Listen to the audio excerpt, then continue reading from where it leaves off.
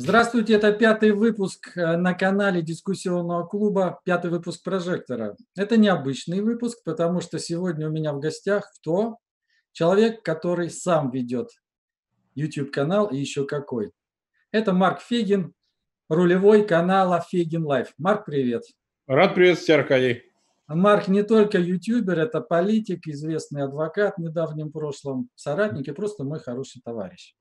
Он примерно понял, что такое прожектор, моя задумка начинающего ютубера. И минут за 15, может быть 20 мы высвечиваем главное на этот момент, но с учетом его а, значимости как а, ютубера, как а, руководителя, я считаю, ведущего российского аналитического канала, я бы хотел с ним поговорить о, о роли Э, новых медиа, вот то, чем мы занимаемся, и взаимоотношения с государственными, с псевдогосударственными, с псевдонезависимыми, что мы можем из этого изъять полезного для нашего общего дела, потому что не секрет, мы, конечно, этим занимаемся не потому, что хотим стать журналистом, а потому что мы занимаемся давно политиками. Я был депутатом Госдумы второго созыва, Марк был первого, по-моему, самым молодым депутатом. Был, да. Достаточно давно мы знаем друг друга, вместе участвуем и в форумах в Вильнюсе, и Касьянову когда-то помогали. Короче говоря, Марк, пожалуйста, высвети нам в нашем прожекторе, включи свет вот на эту часть нашей политической работы, на то, что мы здесь, может быть, не доделываем, что нужно а, принимать во внимание. Как ты это видишь, как ты это делаешь, как это ты будешь продолжать делать, и мы с тобой вместе. Пожалуйста. Ну, вообще надо сказать, что э, видеоконтент и вообще видеоблогерство о котором мы ведем речь, это действительно является неким альтернативным информационным пространством, альтернативным информационным обменом и политическим обменом э, в условиях России. Потому что совершенно другую роль это несет где-нибудь в Соединенных Штатах или в других местах, где, собственно говоря, э, речь идет не о свободе информации, ее способе передачи через э, интернет-площадки, а свободный такой же обмен, который люди могут себе позволить. Э, это не какие-то крупные большие медиа, не журналистские, так сказать, источники информации, а именно что отдельные, так сказать, пользователи интернета могут себе позволить, как всякие. В наших условиях, когда фактически в России отсутствуют свободные СМИ, а они как ну, орган информации, орган распространения э, свободного обмена информацией, распространения политической информации отсутствует полностью, то альтернативные площадки превратились э, в такой исключительный источник замещения этой функции. То есть то, что не делают официальные медиа, неважно, это, так сказать, радио, газеты, телевидение, делает вот такая такая площадка, как YouTube. Но она не единственная. Компенсирует но... в некотором смысле, компенсирует дефицит информации. Замещает, компенсирует. Честного слова, гласности, в конце концов. Правда? Да, она не добавляет. Это некая не дополнительная функция к имеющимся действующим крупным СМИ, телеканалам, а именно что заменяет, поскольку те не выполняют этой функции, поскольку в основном телевизионные каналы, ну практически на 100%, это пропагандистские каналы, то есть в России это так, это государственные и пропагандистские каналы, ну, либо с государственным участием, это ничего не меняет. А, так сказать, э, видеоконтент создаваемый, понятно, что он может проигрывать в профессиональном качестве, в содержательности, может даже в факт-чекинге и так далее, но он все-таки позволяет восполнить эту очень важную функцию свободного информационного обмена, свободного распространения информации, которая является неотъемлемой частью гражданского общества, по-другому просто не бывает. Вот что касается конкретно меня, я не являюсь журналистом и не претендую на эту роль, потому что что такое журналист? Это человек беспристрастно собирающий и распространяющий информацию. Он старается скрывать, это не всегда получается, но все-таки старается скрывать свое личное отношение. С этим тоже сейчас плохо на Западе, в известном смысле, потому что слишком остро складываются отношения в той же США в связи с... Ну да, CNN – это фактически партийный канал демократов. Противовес да. ему республиканцев. Или Fox News, да, да. которые республиканцы. Поэтому, но все-таки их много, они разные, они конкурируют. Ну и они честные, в конце концов. И есть выборы, и никто не знает, кто выиграет. Вот по сей день никто не знает, выиграет тот или другой. В России никаких выборов нет, никаких каналов, принадлежащих разным там партиям, крыльям, направлениям, нет. Это все одно единое целое. Внутри себя есть какая-то внутривидовая возня, но она никакой роли не играет.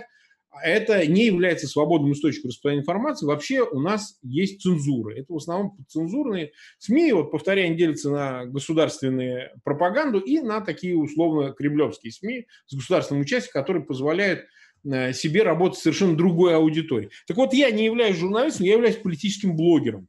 То есть моя э, позиция пристрастна, она направлена против государственной власти, э, власти политической, против э, Путина конкретно. Вот мой канал работает против Путина. То есть это не, не какая-то там абстрактная, я вот пытаюсь как-то изыскивать информацию, я говорю открыто, это против Путина канал, а вот, потому что под этим подразумевается все остальное. Соответственно, против пропаганды, против э, той политики, которая осуществляется, неважно, Путиным или его окружением, или его э, властью и так далее, это уже не имеет значения. Это главная характеристика. То есть я не беспристрастен. Это первое. Второе. Значит, я по силе возможности стараюсь, чтобы этот канал был не только источником распространения информации, но и способом политического агрегирования и объединения людей, подобных мне взглядов. То есть мне не нужны, собственно говоря, в качестве аудитории, так их называют, ватники, там, сторонники Путина, они мне не нужны. То есть они могут меня не смотреть. Они могут смотреть, не смотреть. Меня это уже не, не, не беспокоит. Я не работаю с этой аудиторией. Она мне не интересна. То есть у меня нет цели значит, собрать там всех, и тех, и других, и третьих, сербурмалиновых и так далее. Нет. Даже если на моем канале появляются собеседники, а я делаю не интервью, а я делаю беседы, которые, э, ну, скажем так, противоположных от меня взглядов э, находятся. Это редко, но бывает. Да, такие люди появляются. Вот у меня Баронова была какая-нибудь. Или режиссер Некрасов. Но они явно, так сказать, не попадают в категорию Извини, ну Некрасов, в общем-то, такой. Он старается нейтралитет какой-то демонстрировать. Но... Он к нам приезжал на форумы. Да, ну, но тем не менее. Оттуда, оттуда тем не менее. Да? да, тем не менее, за последние годы его позиция, она ясно артикулировано и так далее. Ну, я просто говорю о том, что, тем не менее, мы получаем от них информацию там, или вступаем с ними в дискуссию. Для чего? Для того, чтобы свою аудиторию, тех, кто ищет этой свободной информации, тех, кто противостоит этому режиму, чтобы они еще и посмотрели на других. Вот это тоже э, допустимо, это да, тоже... понятно, понятно. Ну, таких вот. людей, как Сергей Марков, наверное, мы на твоем канале не увидим. Нет, мы не увидим пропагандистов. Во-первых, не о чем с ними разговаривать, Аркадий. Да, да, а да, о чем ну, с ними да. разговаривать? Это, во-первых, помимо того, что люди там с э, мозгом насекомого, с моей точки зрения, там нервный узел, не мозг, а нервный узел. Если почитать их всех или посмотреть, по-моему, это очевидно. Я не представляю, как... Не, ну, от этого персонажа, по-моему, слюни сквозь экран даже долетает, я просто брезглив. Я, понимаешь, э, Марков – это нарицательное имя, да, это, да, так да, сказать, да. Э, табличка на одном из кабинетов Кащенки. Но там же есть и типы, которые изображают из себя приличных, понимаешь? Да. которые пытаются там как-то чего-то где-то, но они ничем не отличаются в существе своем, поэтому разговаривать с ними практически не о чем вот с такими, с пропагандистами, я подчеркиваю. Есть какая-то среда, там, журналистская, немножко экспертная, которая, да, она чаще маневрирует. Это люди, которые пытаются, значит, просто из-за денег работать с этой властью. Но и это люди, которые содержат некое профессиональное начало, то есть им нельзя отказать там в уме и так далее. Но у меня их тоже, в общем-то, нет, потому что они боятся ходить на такой канал. Ну, ты знаешь, Марк, вот вопрос, это... можно я тебе да, по ходу да. один персональный? Конечно. человек, которого я внимательно слушаю, он а, с той стороны баррикад, но он весьма интересен, он конструктивен. Это а, Римчуков. Ты с ним лично не знаком? Ну, я с ним практически не знаком, вот, практически не знаком. Вот таких людей ты бы мог себе пригласить на канал? Он не пойдет, он знает Нет. правила игры. Он знает правила игры, он, и по этим правилам... Нет, он мог бы, так, такой человек в дискуссии мог бы появиться, да. Такой мог бы. То есть э, такой бы человек действительно мог оказаться на канале, но не для того, чтобы просто высказать свою позицию, а для того, чтобы устроить какую-то дискуссию с каким-то противоположным мнением, поскольку ты помнишь, он возглавил штаб Собянина на выборах, вот еще недавно, да, да, в прошлом да. году. Не, ну, ну, это и, интеллектуал и приятный человек. Я с ним лично не знаком, я просто вот как тоже начинающий блогер, э, э, пытаясь выстроить свой канал, да. э, учась у тебя, и в этом смысле я твой коллега младший, наверное, недавно этим занимаюсь, и мне очень интересно, я думаю, моим зрителям тоже твое видение. И далее я бы хотел тебя спросить все-таки вот, фактически ты признаешь, что мы сейчас с тобой, ну ты в первую очередь создаешь такую газету «Искра», из которой да. пламя. Можно ну, такую допустить? Можно, да? Да, потому что канал может стать коллективным организатором. Это продемонстрировал Навальный отравленный, да? То есть его да. отравили далеко, наверное, не в последнюю очередь из-за того, что он создал медиа-империю. Самую настоящую медиа-империю, потому что он начал играть роль в этих альтернативных медиа, главную роль. То есть, по сути, в YouTube главным альтернативным блогером, главным источником вот той информации, о которой мы говорили, и главным агрегатором протеста был все-таки Навальный. У него 2 миллиона это... подписчиков, кажется, где-то, да? Там у него несколько каналов, собственно, Алексей Навальный, Навальный Лайв. Ну, там есть еще какие-то производные от них, там это, это действительно империя, да, угу. а, так сказать, большая, огромная медийный холдинг, э, но он работает... Команда работает, будь здоров. У да, них вычищают технику. человек, насколько я понимаю. Они то, на да. следующий день получают новые и продолжают работать. Да, и поэтому он, он, он был в известном смысле номер один. Просто сейчас теперь непонятно, они его фактически попытались убить. Что там будет, мы не знаем. Я думаю, что цель их в том числе и разрушить вот этот большой медиахолдинг Навального. Цель это. А, помимо прочих, там есть и другие, они опасаются там за одно, за другое, за третье, за его роль в протесте, за, так сказать, Беларусь, там много чего, там транзит, они же детям хотят власть передать. Соответственно, конечно, для них э, в какой-то последние вот два года стало очевидным, что вот они вбухивают деньги в Первый канал, там, в Россия один, там, и так далее, и видят, что аудитория оттуда уходит. Они же цифры-то видят. Она уходит в интернет, она уходит в альтернативные медиа, вот именно связанные с интернетом, там сайты газеты, там э, видеоконтент вот в том же YouTube и так далее. И совершенно стало понятно, что э, даже появление таких ублюдков-пропагандистов типа Соловьева э, в YouTube, это тоже показатель того, что они понимают будущее там. Оно не в э, том, что они делали для аудитории старшей, так сказать, которая традиционно смотрит телевизор, слушает радио, наверное. Я даже не знаю, кто сейчас слушает радио и там. Хорошо, я надеюсь, что мы тоже понимаем эти процессы не хуже их, по крайней мере, и у нас есть преимущество. Это то, что у нас качественный зритель. Ну, у нас, я да. говорю, как у сообщества каналов, вот прежде всего это твой канал и другие. И, конечно, у нас э, мы работаем не за деньги, мы работаем Конечно. как члены гражданского общества, может быть, активисты, которые что-то имеют за плечами. Сейчас вот просто новые формы находим, и в этом я с тобой солидарен, и надеюсь, мы будем сотрудничать так или иначе. Вторая часть сегодняшнего нашего разговора, да. еще один такой вопрос, касается таких ресурсов, как «Дождь», «Эхо Москвы», к которому у тебя угу. особое отношение, и хотелось бы его услышать вот не на твоем канале, а здесь, потому что я тоже отношусь с определенным скепсисом. Э, я назову такую фамилию, как Чемизов, которая стоит за некоторыми ресурсами. Да, он, он ну, Пожалуйста, да. что ты знаешь, что ты можешь сказать на этот счет, чтобы раскрыть глаза э, нашим зрителям и понимать, э, какую информацию они получают, от кого, как ее нужно селектировать, фильтровать, и что все это а, в общем процессе значит? Пожалуйста. Ну, вот смотри, это, во-первых, публичная информация. Например, Чемизов официальный совладелец «Новой газеты». То есть да. он ее совладелец. Он не, Лебедева, по-моему, да? Э, там и Лебедев продолжает присутствовать, там и часть для акции редакционного коллектива часть там у Горбачев фонда, но все-таки Чемизов совладелец. Это не какой-то посторонний человек. Ровно так же, как «Газпром Медиа» является мажоритарным акционером э, «Эхо Москвы».